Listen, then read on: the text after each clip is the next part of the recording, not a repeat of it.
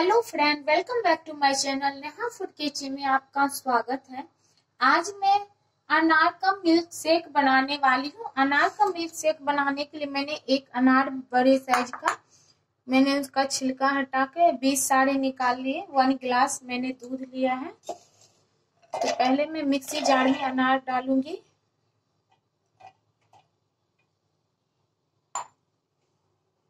इसमें मैं चीनी ऐड करूँगी। Two spoon. आप अपने अकॉर्डिंग कम या ज़्यादा डाल सकते हैं।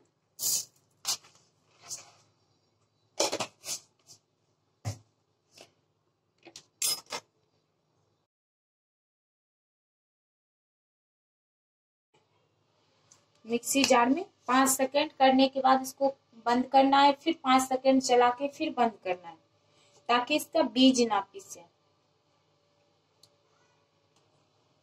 तो फ्रेंड आप देख सकते हैं, ये जूस निकल चुका है सारा अनार से। अब मैं ये दूध ऐड करके एक बार चलाऊँगी। और दूध बिल्कुल गर्म नहीं होना चाहिए फ्रिज का ठंडा दूध होना चाहिए। तो आप देख सकते हैं, दूध डालने के बाद मैंने एक राउंड चलाया और कितना अच्छा ये मिल्क शेक बन के तैयार हो गया है। अब मैं एक ग्लास में छलनी डाल के ऐसे जूस को छानूँगी।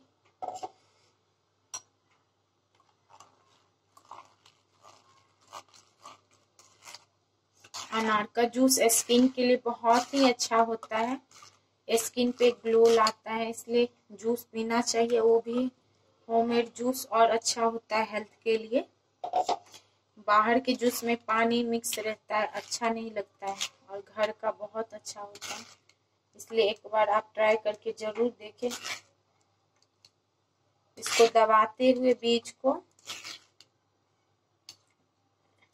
सारे बीज को ऐसे दबाते हुए सारा जूस निकाल लेना है।